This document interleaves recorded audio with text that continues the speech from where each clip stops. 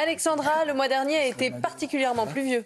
Oui, en effet, beaucoup de précipitations ce mois de septembre 2024. D'ailleurs, le mois de septembre 2024 a été le mois le plus pluvieux depuis 25 ans. On n'avait pas eu autant de précipitations depuis septembre 1999. Nous sommes en moyenne à plus 60% par rapport aux moyennes de saison, c'est-à-dire par rapport à la période 1991-2020. Donc des précipitations soutenues, beaucoup d'eau tout au long du mois de septembre. Alors on a quelques exceptions, notamment sur le sud de la Bretagne ou encore sur le Languedoc-Roussillon, où on a eu quand même moins de pluie, mais globalement, à l'échelle nationale, forte précipitation. Nous sommes à Paris à plus 40% par rapport à ce que nous devons avoir donc à cette période de l'année, donc mois de septembre, particulièrement euh, pluvieux. Nous sommes le mois au mois d'octobre, 1er octobre, et on continue sur cette lancée avec encore de fortes précipitations. Donc aujourd'hui, avec une perturbation très active qui va balayer euh, aujourd'hui les régions centrales, hein, notamment entre l'Occitanie, le centre ou encore les régions de l'Est. Fortes précipitations euh, ce matin avec euh, localement plusieurs jours de pluie